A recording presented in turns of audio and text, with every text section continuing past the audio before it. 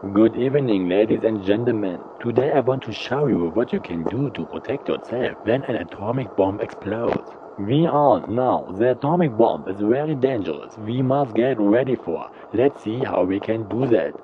Here we see Jimmy Kowalski and his girlfriend.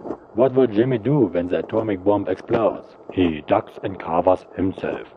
If you watch exactly what he did, you can see that Jimmy Kowalski used a wall and his jacket for his own protection. And this is really important. You always have to use some things to protect yourself, like Jimmy Kowalski do. If you don't have a wall or a jacket in the near of you, you can use other things. You see, a simple homeless people like that can protect you in the case of an attack of the atomic bomb.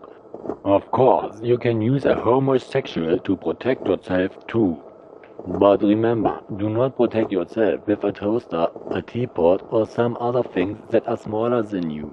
And whatever you do, do never protect yourself with the President of the United States of America or other people who are more important than you are.